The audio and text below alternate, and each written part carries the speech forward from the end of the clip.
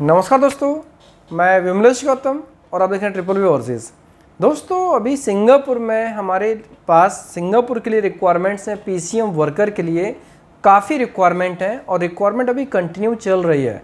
तो जो लोग भी सिंगापुर में पीसीएम वर्कर में अप्लाई करना चाहते हैं, सिंगापुर में पीसीएम वर्कर के लिए अब इसमें जैसे क्राइटेरिया है पीसीएम के लिए यूपी बिहार बंगाल के पासपोर्ट एक्सेप्ट नहीं होंगे। कई बार कुछ लोगों ने बोला कि ऐसा क्यों है दोस्तों? अभी इस टाइम पर उनका रिफ्यूजल है। इसलिए हम वो मिस पासपोर्ट नहीं ले पा रहे हैं।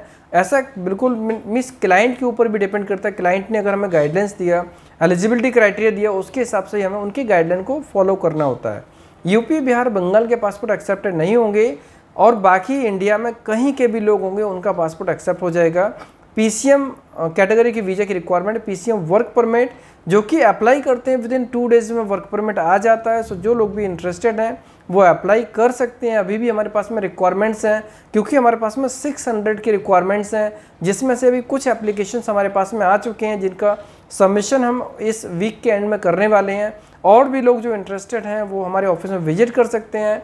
और वो भी इस जो ह्यूज रिक्वायरमेंट है छः लोगों की, उसमें अप्लाई कर सकते हैं। सिंगापुर के लिए प्रोसेस एक्चुअली बहुत फास्ट है और अभी जिन लोगों के वीज़ा आ चुके हैं धीरे धीरे करके उनका एंट्री अप्रूवल आने वाला है और कुछ समय बाद उनकी भी आपको फ्लाइट्स देखने को मिलेगी। सिंगापुर में जो प्रोसेस है एक्चुअली एक सिस्टमेटिक वे में होता है। वीज़ा के ऊपर ही डेट मेंशन होती है। उस डेट से पहले फ्लाई पक्का हो ही जाता है। तो जो लोग भी इसमें अप्लाई करना चाहते हैं, वो लोग डेफिनेटली हमारे ऑफ़िस में विज़िट कर सकते हैं। रिक्वायरमेंट अभी है। पीसीएम का कोटा एक्चुअली बहुत कम निकलता है। पहले देखा होगा आपने, जनवरी, फरवरी, मार्च में हमारे पास में कोटा ना के बराबर था। मार्च एंड में कोटा आया, उसके बाद से लेकर बैक टू बैक हमारे बहुत सारे वीज़ा आए। तो अभी जो लोग भी अप्लाई करना चाहते हैं, हमारे पास राइट नाउ रिक्वायरमेंट है कोटा है। अगर अप्लाई करना चाहते हैं तो डेफिनेटली उनके लिए राइट टाइम होगा।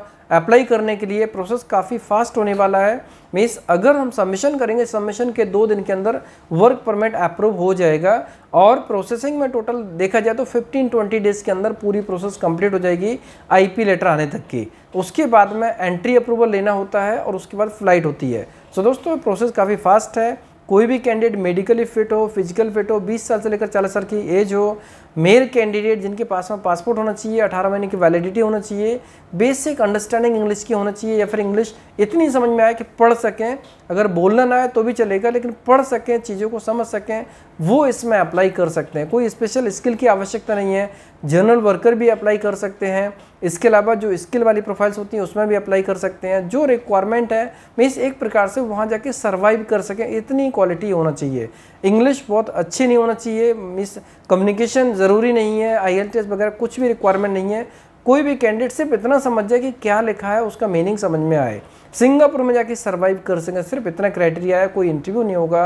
अगर स्किल प्रोफ़ाइल है टेक्निकल प्रोफ़ाइल है तो इंटरव्यू हो सकता है। अदरवाइज़ कोई भी इंटरव्यू नहीं होगा, उनका सीधा वीज़ा एप्लीकेशन में चला जाएगा।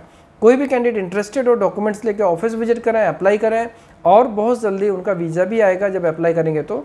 और सबसे इंपॉर्टेंट चीज़ है क्लाइंट से कंफर्मेशन लेने के बाद ही एग्रीमेंट होगा। अगर मिस डॉक्यूमेंट्स स्ट्रांग होंगे, अगर एलिजिबल होंगे, वीज़ा लग सकता है, तभी उनके डॉक्यूमेंट्स को एक्सेप्ट करके शॉर्टलिस्ट किया जाएगा और उनको कंफर्म किया जाएगा कि हाँ आप एग्रीमेंट कर सकते हैं प्रोसेस कर सकते हैं। दोस्तों, बहुत ही कम केस में होता है कि जिनका रिफ्यूजल हो। वर्क परमिट में अभी तक स्टेट का अगर देखा जाए, उन स्टेट को हटा दिया जाए, तीन स्टेट को यूपी, बिहार, बंगाल तो हमारे कोई भी स्टेट के, बाकी स्टेट में से कोई भी स्टेट के लोगों का वीज़ा, वर्क परमिट कभी भी रिफ्यूज़ नहीं हुआ। और जिन लोगों का अप्लाई किया अप्लाई करने के लिए अगर डॉक्यूमेंट्स की बात करें तो डॉक्यूमेंट्स की बेस पर जो शॉर्ट लिस्टिंग की शॉर्टलिस्टेड लोगों का रिफ्यूजल बिल्कुल ना के बराबर होता है, सौ में से एक बंदे का हो या दो बंदे का। बहुत ज़्यादा रेशो नहीं होता, बहुत नॉर्मल होता है। सो दोस्तों, जो लोग भी इंटरेस्टेड हैं किसी भी प्रोफ़ाइल में पीसीएम में जाने के लिए वो हमारे ऑफ़िस में विज़िट करें और जो अभी रिक्वायरमेंट है उसका लाभ लें क्योंकि ये कोटा अभी ये कुछ समय के बाद ये कोटा नहीं रहेगा। दोस्तों, ये वीडियो कैसा लगा? अगर वैकेंसी पसंद आए तो अपने दोस्तों फॉरवर्ड करें जिससे रिलेवेंट लोग इसका लाभ ले सकते हैं, वो भी अप्लाई कर सकते हैं। अगर आपकी प्रोफ़ाइल मैचिंग होती है तो आप डॉक्यूमेंट लेके हमारे ऑफ़िस में विज़िट कर सकते हैं। वीडियो पसंद आया तो लाइक कीजिए कमेंट्स कीजिए शेयर कीजिए। हमारे वीडियोस को लगातार देखने के लिए चैनल को सब्सक्राइब कीजिए, घंटी वाला ऑप्शन ज़रूर दबाएँ, जिससे कि आपको आने वाले सारे वीडियोस के नोटिफिकेशन सबसे पहले मिलेंगे। धन्यवाद।